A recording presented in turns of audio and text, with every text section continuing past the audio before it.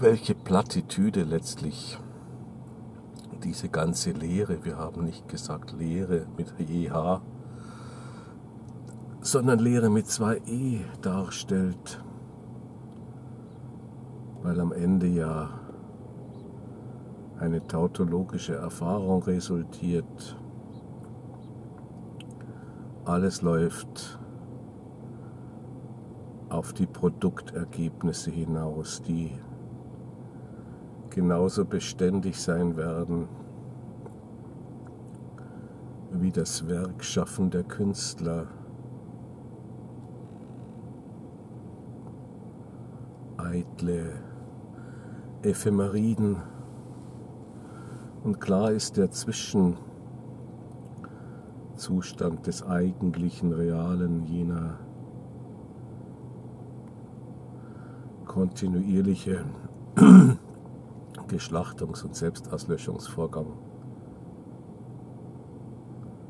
der sich opfernden Körper in ihrem kontinuierlichen Fall.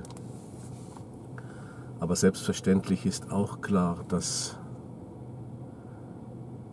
diese wirkliche Realität so unerträglich ist, dass sie dass die Körper sich hin wiederum schützen und diese Innenerfahrung, diese Innengefühle, mir ist noch eingefallen ein wichtiges, vergessenes oder unbewusst gemachtes zentrales Gefühl nebst der Schwere, der Gehobenheit, der Stimme. Das ist die Nacktheit, das ist das die Propriozeption der Haut an sich, an bestimmten sie kühlenden oder sie wärmenden, rauen oder feinsinnigen Oberflächen oder an der Luft. Also, das Leben wäre ja schön blöd, wenn es sich nicht schützen würde und eben diese kontinuierliche Reorganisationsfähigkeit und das sich erhalten wollen mit den entsprechenden Lust-, Belohnungs- und Unlustvermeidungsmechanismen,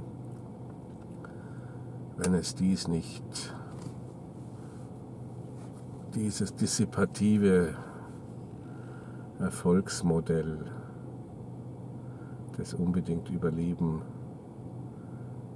wollen, überleben wollens und des unbedingt ein wenig angenehm auch leben und erleben wollen, wenn sie dieses nicht projizieren würde auf die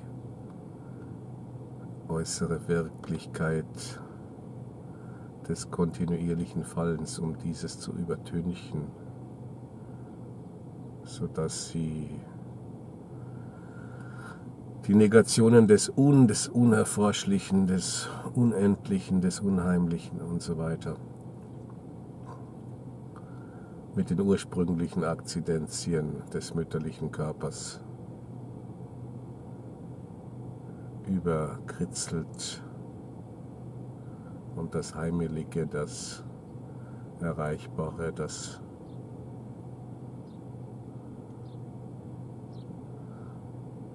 Endliche, das endlich, endlich Erreichbare daraus zu machen. Die unbegreifliche, genialische, ausgedehnte Konstruktion zu projizieren darüber, über dem perhoreszierenden